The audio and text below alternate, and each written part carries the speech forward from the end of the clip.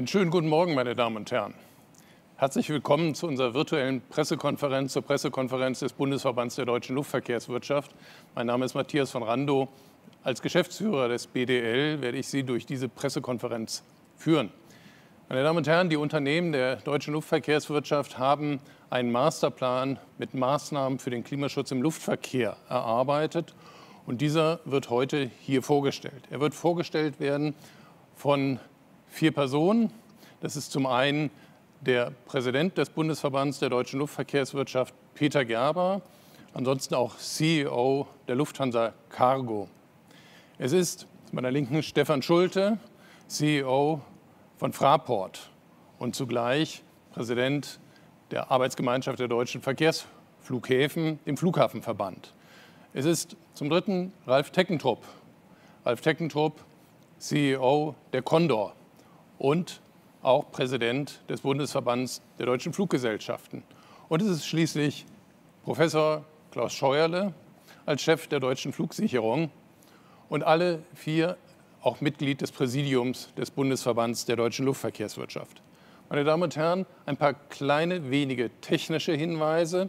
Sie werden im Verlauf der Pressekonferenz uns Fragen natürlich äh, schicken können. Sie können Fragen stellen. Sie können die schriftlich stellen. Ähm, wenn Sie, Sie haben sich ja eingeloggt über dieses System äh, Slide Sync und Sie werden unten sehen, dass dort eine Zeile ist, in der Sie dann die Frage an uns richten können. Ich bekomme die Fragen auf ein iPad und werde dann die Fragen nach Abschluss der Statements dann hier kurz vortragen und dann werden wir Ihre Fragen auch beantworten. Ähm, den Masterplan selber, der ist Ihnen zugegangen, per Mail ist er an Sie geschickt worden und er ist natürlich auch ähm, downzuladen von unserer Webpage. Meine Damen und Herren, wir beginnen dann jetzt diese Pressekonferenz und ich übergebe an den Präsidenten des Verbandes, Peter Gerber. Matthias, vielen Dank. Sehr geehrte Damen und Herren, guten Tag auch von meiner Seite. Seit fast zehn Monaten bewegt sich im Luftverkehr kaum noch etwas. An unseren Flughäfen zählen wir aktuell gerade einmal rund 10 Prozent der Passagiere von 2019. Mit dem fast kompletten Einbruch des Luftverkehrs fallen natürlich auch kaum noch Emissionen an. Aber auch wenn es nach der für den Luftverkehr tiefsten Krise nur schrittweise gehen wird, es wird wieder deutlich mehr Luftverkehr geben deswegen bleiben auch für uns als Luftverkehrsbranche der Klimaschutz weiter auf der Agenda. Gerechnet in Zahlen, vor der Corona-Krise ist der Luftverkehr weltweit für ca. 2,8 Prozent der CO2-Emissionen verantwortlich. Bezogen auf die weltweite Klimaerwärmung insgesamt liegt der Anteil des globalen Luftverkehrs bei 3 bis 5 Prozent. Luftverkehr ist insofern mitnichten Klimakiller Nummer eins. Aber es ist für uns als Vertreter der deutschen Luftverkehrswirtschaft ganz klar. Auch Luftverkehr trägt zu den klimaschädlichen Emissionen bei. Und deswegen tragen wir miteinander Verantwortung dafür, die wachsende Nachfrage nach Luftverkehr besser in Einklang mit dem Klimaschutz zu bringen. Unser Ziel ist der CO2-neutrale Flugbetrieb. Wie in allen Wirtschafts- und Lebensbereichen geht so etwas auch im Luftverkehr nicht von heute auf morgen oder über Nacht. Gerade die Luftfahrt ist eine Branche mit langen Entwicklungszyklen und langen Produktionszyklen. Dies festzustellen soll aber keine Entschuldigung für Nichtstun sein. Ganz im Gegenteil. Wir wollen mit unserer Initiative dazu beitragen, dass es schneller geht. Damit es schneller geht, müssen jetzt die Weichen richtig gestellt werden. Wir haben trotz der heftigen verkehrlichen und wirtschaftlichen Einbrüche in der Luftfahrt das Jahr 2020 genutzt, um die Klimaschutzherausforderungen erneut zu analysieren. Im Ergebnis haben wir die Maßnahmen identifiziert, mit denen ein CO2-neutraler Luftverkehr erreichbar ist.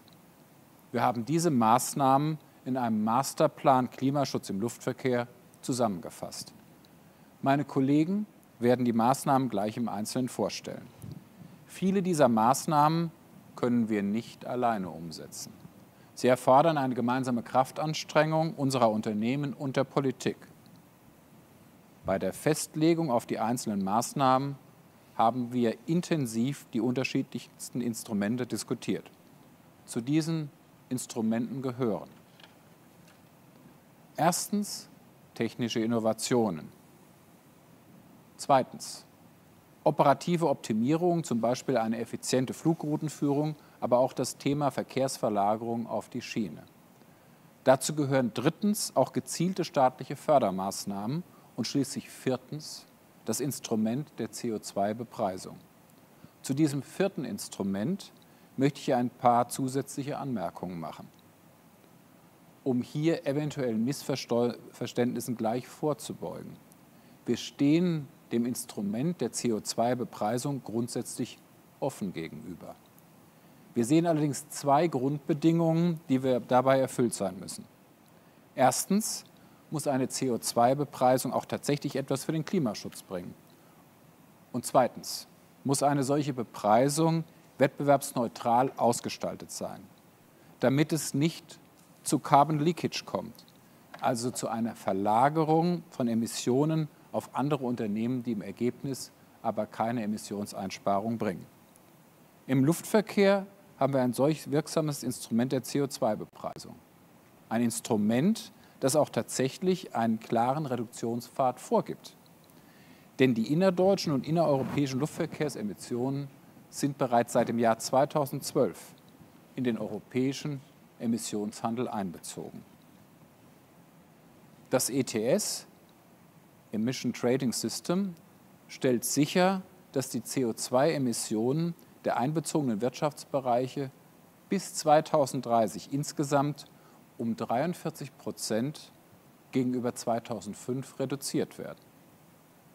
Für uns war bei der Einführung absolut wichtig, dass Flüge mit Drittstaaten da unbedingt einbezogen werden, weil ohne eine solche Einbeziehung europäische Lufthafendrehkreuze und europäische Fluggesellschaften Schaden nehmen und Verkehr samt Emissionen an ausländische Wettbewerber verlagert werden. Das hat die EU aber leider in der internationalen Staatengemeinschaft nicht durchsetzen können. Umso wichtiger war der Durchbruch, als wir dann im Jahre 2016 erreichen konnten, dass die internationale Staatengemeinschaft beschloss, internationale Flüge über das CO2-Kompensationssystem Corsia zu bepreisen. Es stellt sicher, dass der internationale Luftverkehr CO2-neutral wächst. Denn mit Inkrafttreten von COSIA müssen die Fluggesellschaften für ihre wachstumsbedingten CO2-Emissionen bezahlen. Aus diesen Mitteln werden dann zertifizierte Vorhaben der CO2-Reduzierung bezahlt. Wir wir unterstützen ausdrücklich dieses System aus beiden Bepreisungsinstrumenten. Beide Instrumente funktionieren nach dem Prinzip, Solange CO2-neutrales Wachstum nicht technisch erreicht werden kann, zahlt der Luftverkehr für wachstumsbedingte Emissionen. Und mit diesen Mitteln wird die CO2-Reduktion in anderen Bereichen realisiert. Es sind außerdem, und das ist besonders wichtig, international greifende Instrumente. Nationale Instrumente der CO2-Bepreisung hingegen sind extrem kontraproduktiv. Und da wir nicht CO2-Leakage, sondern wirklich CO2-Reduktion wollen, deswegen sagen wir auch ganz klar und unmissverständlich, CO2-Bepreisung ja, Finger weg von nationalen Alleingängen, Finger weg von CO2-Steuern im Luftverkehr.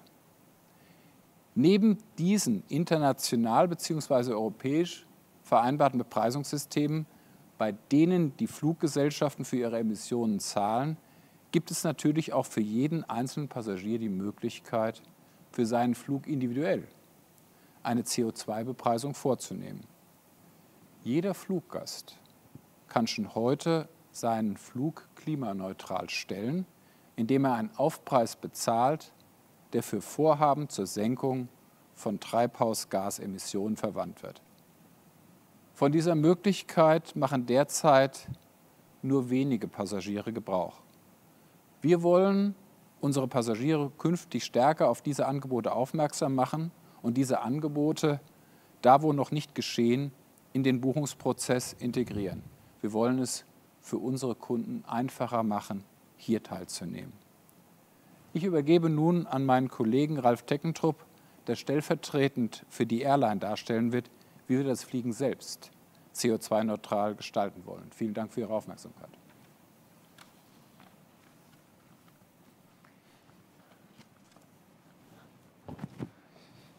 Ja, vielen Dank, Peter.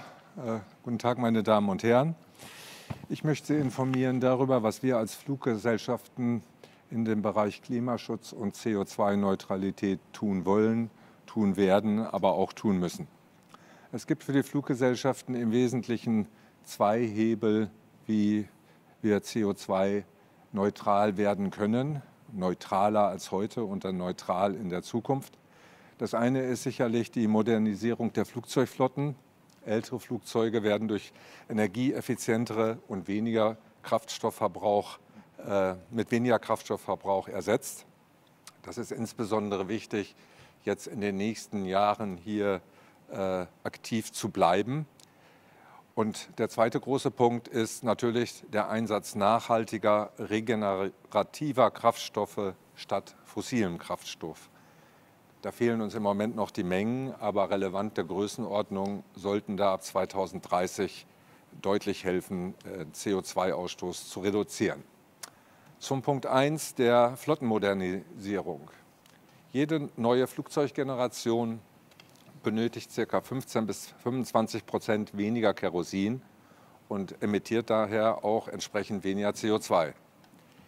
Durch den Austausch von älteren Flugzeugen durch energieeffizientere Flugzeuge konnten wir seit 1990 die CO2-Emissionen pro Personenkilometer um 44 Prozent senken. Anders ausgedrückt, wenn wir nicht die vielen Milliarden in die Flottenmodernisierung investiert hätten, dann hätten wir als Fluggesellschaften im vergangenen Jahr rund 44 Prozent mehr CO2 emittiert. Klar ist, beide Hebel, Flottenmodernisierung und nachhaltige Flugkraftstoffe, erfordern massive Investitionen. Damit die CO2-Reduktion durch die Flottenmodernisierung jetzt nicht durch Corona-bedingte wirtschaftliche Krise der Luftverkehrsunternehmen zum Erliegen kommt, brauchen wir daher eine Unterstützung.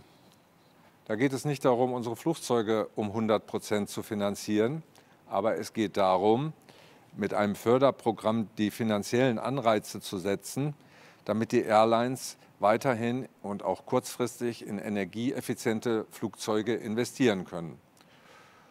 Und zwar genau da, wo wir es sonst Corona-bedingt durch fehlendes Cash, Liquidität in den Unternehmen und auch fehlende Wirtschaftlichkeit äh, zum jetzigen Zeitpunkt äh, stoppen müssten. Daher begrüßt der BDF es sehr, dass die Koalition angesichts der schwierigen Ertragslage in unseren Unternehmen die Flottenmodernisierung unterstützen möchte. Wir, die Fluggesellschaften, stehen bereit, um die Mittel aus dem Förderprogramm zur Flottenerneuerung, das die Bundesregierung derzeit vorbereitet, zu nutzen und damit einen großen Schritt in Richtung Klimazukunft zu gehen. Unser Ziel ist es, mit diesen Investitionen die spezifischen CO2-Emissionen Schritt für Schritt weiter um 1 bis 1,5 Prozent jährlich zu senken. Das zweite Thema ist der Kraftstoff. Dies ist insbesondere wichtig für die mittel- und langfristige Zukunft ab 2030. Aber wir müssen jetzt aktiv werden, damit wir dann in zehn Jahren notwendige Mengen dieses Kraftstoffs auch verfügbar haben. Das Ziel, CO2-neutral zu fliegen, lässt sich nur mit nachhaltigem Kraftstoff statt fossilem erreichen. Als deutsche Luftverkehrswirtschaft setzen wir auf Wasserstoff. Bis man reinen Wasserstoff direkt vertanken kann, wird aber sehr viel Zeit vergehen. Zu viel Zeit. Denn reiner Wasserstoff benötigt zum Beispiel größere Tanks. Dafür bräuchten wir ganz neue Flugzeugkonzepte. Deswegen setzen wir, um schneller voranzukommen, auf das Power-to-Liquid-Verfahren. Dabei wird der Wasserstoff mit CO2, das aus der Atmosphäre entnommen wird, mit Hilfe von erneuerbaren Energien zum PTL-Kraftstoff verbunden. Das heißt, Bei einem Flug mit 100% reinem PTL-Kraftstoff entsteht unter dem Strich für die Umwelt nicht ein Gramm CO2. Diese Technik und Technologie ist erprobt und funktioniert. Allerdings gibt es diesen Kraftstoff bis jetzt nur in sehr, sehr kleinen Mengen. Damit der Systemwechsel zu den alternativen Kraftstoffen gelingt, brauchen wir jetzt eine große Kraftanstrengung, denn gegenwärtig gibt es noch keine industriellen Produktionsanlagen. Aus diesem Grund erarbeiten wir gerade gemeinsam mit Bund, Ländern und der Industrie eine sogenannte PTL Roadmap. Die Roadmap soll einen Fahrplan für den Aufbau von Produktionskapazitäten aufstellen, um nachhaltige Flugkraftstoffe zu wettbewerbsfähigen Preisen bereitzustellen. Wir wollen diese Roadmap bis Anfang nächsten Jahres erarbeitet haben und Ihnen diese dann gemeinsam mit unseren Partnern aus der Politik und aus der Industrie vorstellen. Dabei sind wir auch bereit, uns bei Pilotprojekten zum Aufbau industrieller Anlagen zur Herstellung nachhaltiger Flugkraftstoffe zum Beispiel in Form von Abnahmegarantien zu beteiligen. Produktionskapazitäten sind das eine. Wir müssen aber auch sicherstellen, dass der PTL-Kraftstoff getankt werden kann, ohne dass es zu Wettbewerbsverzerrungen bei den Kosten kommt. Denn der Kraftstoff, der PTL-Kraftstoff, wird nach jetziger Einschätzung circa drei bis fünfmal so teuer sein äh, wie herkömmlich fossiles Kerosin. Und um Ihnen da ein Gefühl zu geben, wenn es viermal so teuer wäre, dann müsste ein Ticket Stand heute genau doppelt so teuer sein, um das bezahlen zu können. Deswegen muss Teil der Roadmap auch sein, wie der Markthochlauf organisiert wird. Eine Beimischungsverpflichtung halten wir für ein grundsätzlich geeignetes Instrument für den Markthochlauf. Hier kommt es aber auf die Ausgestaltung an. Denn das sogenannte Carbon Leakage, also ein Passagier sitzt bei einer deutschen, nicht bei einer deutschen Airline, sondern bei einer Airline, die keine Beimischung äh, praktizieren muss, müssen wir auf jeden Fall vermeiden. Eine eventuelle Beimischungsquote muss so ausgestaltet werden, dass diese nicht zulasten der hiesigen Flughafendrehkreuze und der deutschen Fluggesellschaften geht und den Verkehr damit zu Drehkreuzen im Ausland, Ausland verlagert. Der sauberste Weg wäre es, eine solche Quote auf globaler Ebene zu implementieren, da es alle Fluggesellschaften in gleicher Weise betreffen würde. Jeder Versuch aber, eine solche Beimischungsverpflichtung entweder nur in Deutschland oder nur in der EU festzulegen, würde sofort zu massiven Wettbewerbsverzerrungen und Carbon Leakage führen. Aber ein europäischer oder deutscher Alleingang bei der Quote wäre dann denkbar, wenn der entstehende Kostennachteil für die heimischen Unternehmen ausgeglichen wird. Wir als deutsche Luftverkehrswirtschaft schlagen vor, in Deutschland die Mehrkosten mit den Einnahmen aus der Luftverkehrssteuer auszugleichen. Damit würde die Luftverkehrssteuer von einem reinen Fiskalinstrument sogar zu einem sinnvollen Klimaschutzinstrument werden. Ich fasse zusammen. Mit der ökologischen Flottenmodernisierung und dem Systemwechsel bei den Kraftstoffen haben wir zwei wirksame und große Hebel, um unsere Emissionen langfristig auf Null zu bringen. Jetzt geht es darum, die Rahmenbedingungen so zu setzen, dass diese Instrumente erfolgreich und vor allem auch zügig genutzt werden können. Vielen Dank und ich übergebe das Wort an Stefan. Stefan Schulte. So, so viel Zeit muss sein. Ralf. Vielen Dank, meine sehr geehrten Damen und Herren. Ich möchte zwei Maßnahmenpakete aus unserem gemeinsamen Masterplan vorstellen. Und zwar zum ersten die Maßnahmen für einen CO2-neutralen Flughafenbetrieb und zweitens dann Maßnahmen für eine bessere Verknüpfung von Luftverkehr und Schiene. Die Flugreise beginnt und endet ja nicht an Bord eines Flugzeugs, sondern unser Anspruch ist es, über die gesamte Reisekette hinweg CO2-neutral zu sein, also auch am Boden, auch in den Flughafengebäuden, auf dem Vorfeld etc. An unseren Flughäfen wollen wir eine ganze Reihe von Maßnahmen umsetzen, die CO2-Emissionen dann schrittweise auf Null zu reduzieren. Lassen Sie mich zu den einzelnen Handlungsfeldern jeweils nur einen Punkt nennen, der Pass pro Toto für eine ganze Reihe von Maßnahmen steht. Im Bereich Energieversorgung wollen wir möglichst flächendeckend auf erneuerbare Energien, wie zum Beispiel Photovoltaik, umsteigen.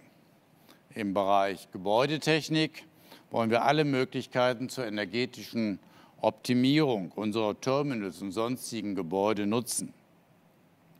Im Bereich der Anlagentechnik wollen wir zum Beispiel die Befeuerung von Start- und Landebahnen auf energiesparsame LED-Technologie umstellen. Im Bereich Fuhrpark wollen wir unsere Flotten auf Elektromobilität oder alternative Kraftstoffe, vielleicht auch alternative Antriebe umstellen. In all diesen Bereichen, ob es die Energieversorgung ist, Gebäude- und Anlagentechnik oder auch der Fuhrpark, werden wir in diesem Sinne den Hebel umlegen und in Richtung CO2-Neutralität arbeiten. Und da haben wir ja auch schon sehr viel erreicht. Allein in den letzten zehn Jahren haben wir am Boden die CO2-Emissionen um 30 Prozent reduziert, also minus 200.000 Tonnen. Damit komme ich zum zweiten Maßnahmenpaket. Wir wollen Luftverkehr und Schiene besser miteinander verknüpfen, sodass im Kurzstreckenverkehr die Schiene attraktiver wird. Auch wenn der innerdeutsche Luftverkehr nur etwa 0,3 Prozent der gesamten CO2-Emissionen in Deutschland ausmacht, wollen wir trotzdem auch hier die noch bestehenden weiteren Potenziale nutzen. Und in der Vergangenheit wurde ja auch hier bereits schon einiges erreicht. Strecken wie Berlin-Nürnberg, Köln-Frankfurt wurden bereits eingestellt. Innerdeutsche Flüge finden im Wesentlichen nur noch auf längeren Strecken statt. Dort, wo die Bahnreisezeit es den Reisenden nicht ermöglicht, einen Termin an einem Tag wahrzunehmen. Auf kurzen Strecken wird der Luftverkehr fast ausschließlich von international umsteigenden Passagieren genutzt. Rund ein Drittel aller Passagiere auf innerdeutschen Flügen reist nicht zu einem Ziel innerhalb Deutschlands, sondern steigt um zu einem internationalen Ziel. Eine Verlagerung dieser innerdeutschen Flüge per Dekret oder per Verordnung, auch per Verteuerung, kann nicht funktionieren. Denn im internationalen Umsteigeverkehr hat der Passagier immer eine Ausgleichsmöglichkeit. Statt von Hamburg über Frankfurt oder München nach Peking zu fliegen, kann der Passagier auch über Paris, über London, Istanbul oder andere Drehkreuze ins Ausland fliegen, wenn er nicht mit der Bahn anreisen möchte. Die Verlagerung auf die Bahn gelingt also nur da, wo die Bahn attraktive Reiseverbindungen bieten kann Genau daran arbeiten wir bereits jetzt mit der Deutschen Bahn, wir Airlines, wir Flughäfen. Und zwar konkret erstreckt sich die Kooperation auf drei Felder. Erstens die Verkürzung der Bahnreisezeit. Hieran arbeitet natürlich die Bahn intensiv, denn ein tatsächlicher Verlagerungseffekt tritt meistens eben dann bei Reisezeiten von weniger als drei Stunden ein. Zweitens die Verbesserung des Gepäcktransportes. Auch die Frage, inwieweit es gelingt, am Bahnhof direkt äh, das Gepäck aufzugeben und durchzuschecken. Und drittens die Anschlusssicherheit. Das ist im Umsteigerverkehr besonders wichtig, damit die Passagiere nicht im Regen stehen, wenn einmal eine Zugverbindung ausfällt. Wir sehen das Potenzial, dass rund ein Fünftel des innerdeutschen Luftverkehrs die Schiene nutzen könnte. Das wären jährlich immerhin rund 4 Millionen Passagiere. Dieses Potenzial wollen wir nutzen. Deswegen stehen wir zu all diesen Punkten in intensiven Gesprächen mit der Deutschen Bahn. Und wir hoffen, dass wir Ihnen Anfang des nächsten Jahres bereits erste Ergebnisse hierzu vorstellen können, wie wir die Ziele konkret erreichen. Vielen Dank.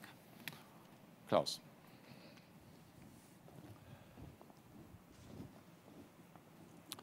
Vielen Dank, Stefan. Guten Tag, meine Damen und Herren. Treibhauseffekte beim Fliegen lassen sich nicht nur mit neuen emissionsärmeren Flugzeugen reduzieren, sondern eben auch mit optimierter Flugführung. Aktuelle Forschungsprojekte, etwa Messen der Bildung von Cirruswolken wie auch Kondensstreifen unter entsprechenden Bedingungen eine Bedeutung für das Klima bei. Daher werden wir uns aktiv und konstruktiv an dieser wissenschaftlichen Diskussion beteiligen. Weiterhin befassen wir uns sehr engagiert mit Prozessen, die deutschlandweit, aber auch grenzüberschreitenden Verkehr durch engere Zusammenarbeit und modernste Technik die Flugsicherung in Gesamteuropa verbessern helfen. Lassen Sie mich mit dem ersten Thema beginnen. Während die Klimawirkung des Kohlendioxids fundiert wissenschaftlich untersucht ist, besteht bei den Nicht-CO2-Effekten noch Forschungsbedarf.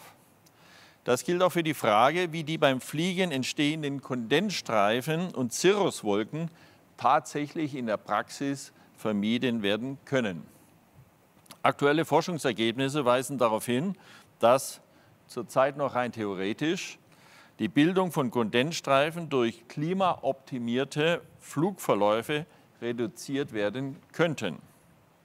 Würden beispielsweise eisübersäte Regionen gezielt umflogen, wäre die Bildung von Kondensstreifen zu einem Großteil vermeidbar. Allerdings würde ein solches Ausweichen oft die Flugstrecke verlängern und so wiederum zu einer Erhöhung des Kraftstoffverbrauchs führen und damit auch zu mehr Emissionen. Und es ist auch nicht immer möglich, Umwege zu fliegen, weil es die Kapazitäten des Luftraumes nicht zulassen. Gleichzeitig weisen die Forschungsergebnisse darauf hin, dass Kondensstreifen auch einen kühlenden Effekt auf die Atmosphäre haben können und damit positive Klimaauswirkungen. Unsere Unternehmen arbeiten daher mit dem Deutschen Zentrum für Luft- und Raumfahrt und dem Deutschen Wetterdienst daran, wie eine Reduzierung der Klimawirkung auch in der Praxis gelingen kann. Das zweite Thema, die Streckenoptimierung im europäischen Luftraum, sie ist viel länger bekannt. Unter der Überschrift Single European Sky konnten bereits erhebliche Fortschritte erzielt werden. Im deutschen Luftraum haben wir durch eine Optimierung der Flugführung viele Umwege vermieden und damit Emissionen reduziert.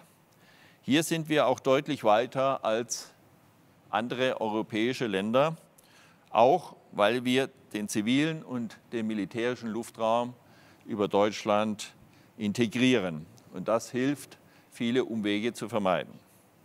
Auf europäischer Ebene konnte mit der Einführung von Free Route Airspace, also der direkten Flugführung, seit 2014 mehr als 2,6 Millionen Tonnen CO2 eingespart werden. Das entspricht rund einem halben Prozent der durch den Luftverkehr verursachten CO2-Emissionen. Das ist ein wichtiger Baustein auch für den Klimaschutz, den wir weiter vorantreiben wollen. Aber wir sehen auf der europäischen Ebene weiteren Handlungsbedarf, auch für die Bundesregierung. Und ich will diesen Handlungsbedarf in Stichworten darlegen. Erstens eine weitgehend Automatisierung, eine weitgehende Automatisierung der Lotsendienste mit standardisierten Technologien. Dazu braucht es EU-weite Standards für Flugsicherungstechnologie, für Verfahren und auch für die Lizenzen. Drittens eine Flexibilisierung des Fluglotseneinsatzes, damit Lotsen nicht nur in einem Sektor tätig sein können. Viertens technisch optimierte Verfahren, um Emissionen beim Landen zu reduzieren, unnötige Flugwege zu vermeiden und die Rollwege am Boden zu verkürzen. Und fünftens weniger Umwege aufgrund von militärischen Sperrgebieten, gerade außerhalb von Deutschland. Das mag alles sehr technisch klingen, hat aber relevantes Potenzial für den Klimaschutz. Wenn diese zusätzlichen Maßnahmen umgesetzt werden, ließen sich die CO2-Emissionen im europäischen Luftverkehr weiter reduzieren. Wir sehen hier ein Potenzial von 5 bis 10 Prozent, meine Damen und Herren. Daher appellieren wir an die Politik, dieses wichtige Projekt Single European Sky weiter auf der Agenda zu halten. Die jüngst von der EU-Kommission vorgelegten Vorschläge greifen diese Handlungsfelder leider allenfalls punktuell auf, was auch die überaus kritische Diskussion im Verkehrsministerrat am 8. Dezember diesen Jahres wiedergespiegelt hat. Ich bedanke mich für Ihre Aufmerksamkeit.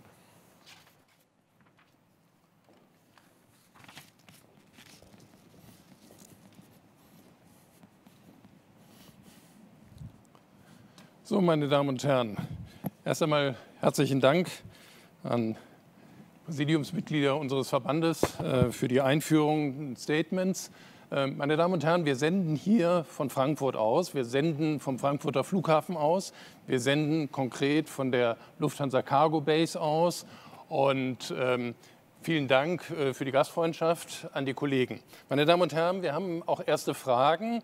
Ähm, die erste Frage lautet, und sie kommt von Herrn Arnold von dpa, bis wann soll die Klimaneutralität erreicht werden?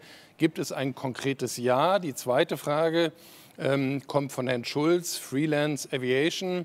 Da geht es dann um optimierte Flugrouten. Ich werde die Frage gleich darlegen und wie der SES vorankommt.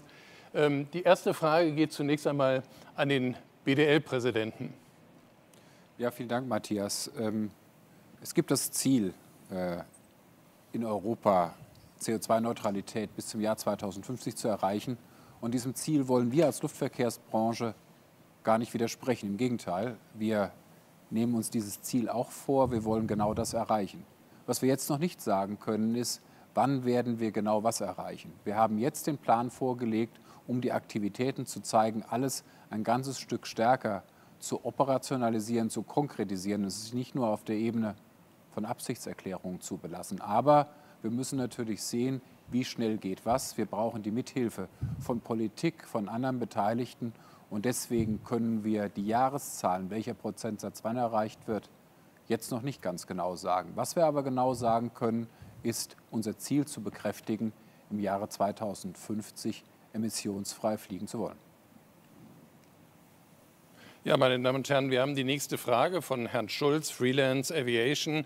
Die Frage lautet wie folgt, das ist eine etwas längere Frage. Ähm, optimierte Flugrouten könnten der Europäischen Union mit einem Schlag mindestens 10 Prozent an CO2 einsparen. Leider scheint auch die deutsche EU-Ratspräsidentschaft das Thema SES e nicht wesentlich vorangebracht zu haben. Wie ist der aktuelle Stand aus BDL-Sicht und wo sieht der Verband die Chancen, im kommenden Jahr hier endlich Ergebnisse voranzubringen? Die Frage geht an Präsidiums, BDL-Präsidiumsmitglied Professor Scheuerle.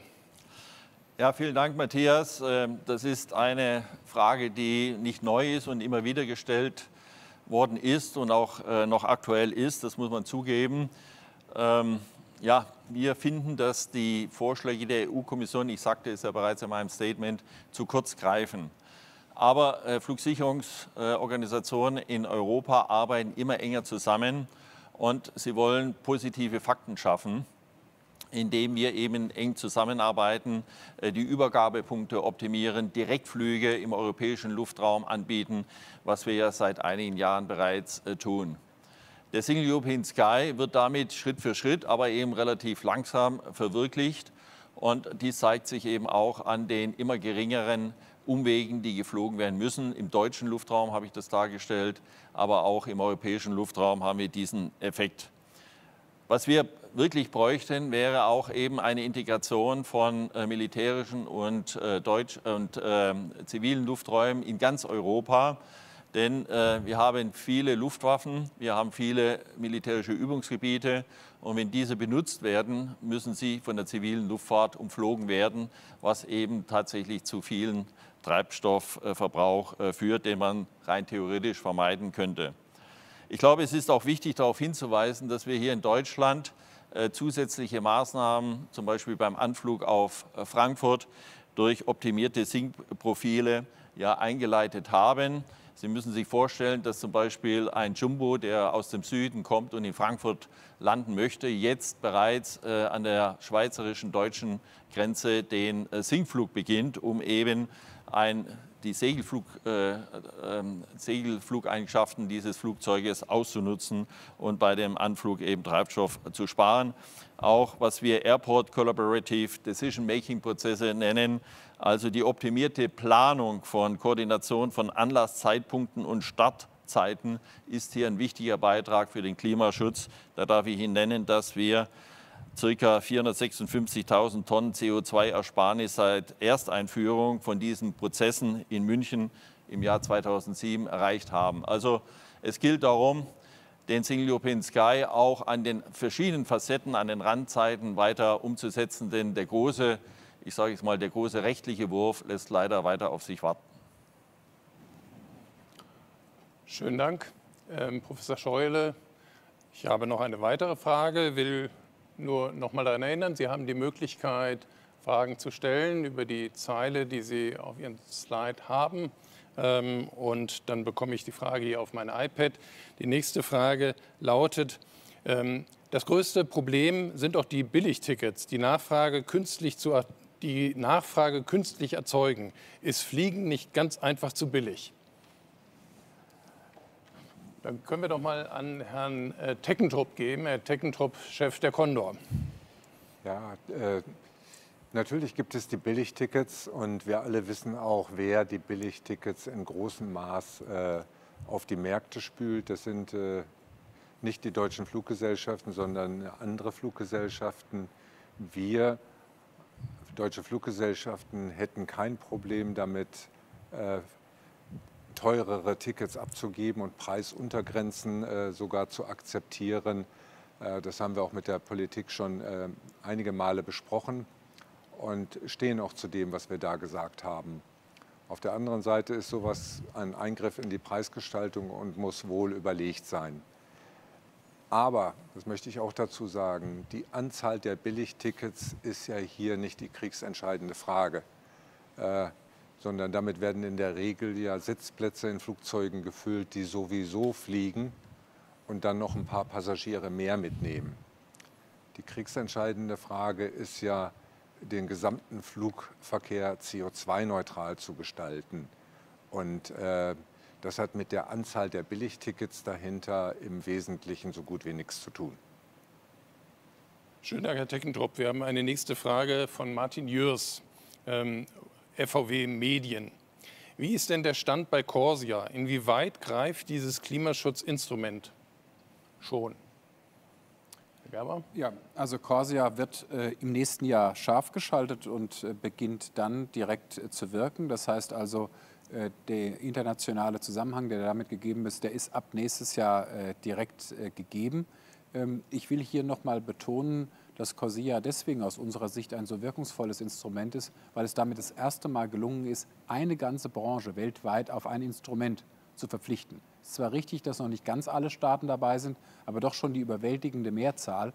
Und ich glaube, das zeigt bereits, in welche Richtung das bei dem Thema CO2-Einsparungen auf eine wettbewerbsneutrale Weise weltweit sowieso gehen muss. Das heißt, auch andere Branchen werden zukünftig sicher zu ähnlichen Lösungen kommen, wenn es gelingt, da einen politischen Konsens zu erzielen. Von daher gesehen ist Corsia, auch wenn es nicht leicht zu verstehen ist und ein bisschen äh, schwierig zu beschreiben ist, einfach ein, äh, ein wegweisendes Instrument, weil es einfach schafft, erstens dem Luftverkehr zu ermöglichen, emissionsfrei zu wachsen, aber zweitens, dass das auch wettbewerbsneutral geschehen zu lassen. Und das sind hier die zwei entscheidenden Punkte. Ein wichtiger Fortschritt für eine Branche, die einfach nur international gedacht werden kann, wie der Luftverkehr.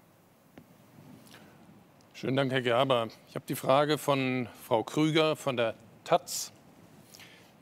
Wird die deutsche Luftfahrt künftig aus Klimaschutzgründen auf Wachstum verzichten oder nach der Corona-Krise weiter auf Wachstum setzen? Ich würde die Frage an den ähm, Chef des Frankfurter Flughafens, bei dem wir heute zu Gast sind, zunächst einmal geben und unser Präsidiumsmitglied und Chef der ADV. Frau Krüger, ähm,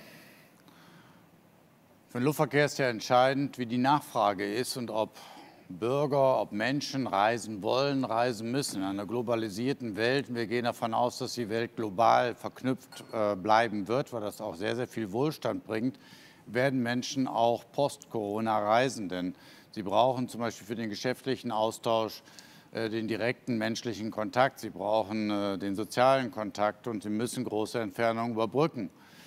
Auch im Leisureverkehr, im Privatreiseverkehr liegt es doch in unserer DNA, dass wir in den Urlaub fliegen wollen, dass wir Freunde und Bekannte treffen wollen.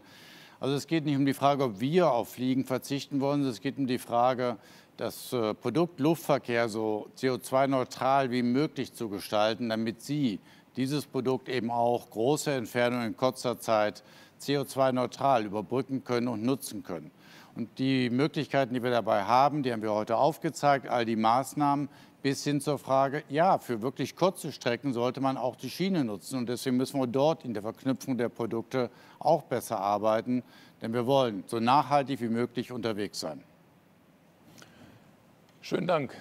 Ich habe hier noch eine Frage, die von mehreren Journalistinnen und Journalisten kommt. Ähm, was halten Sie von dem Vorschlag einer Kerosinbesteuerung in Europa?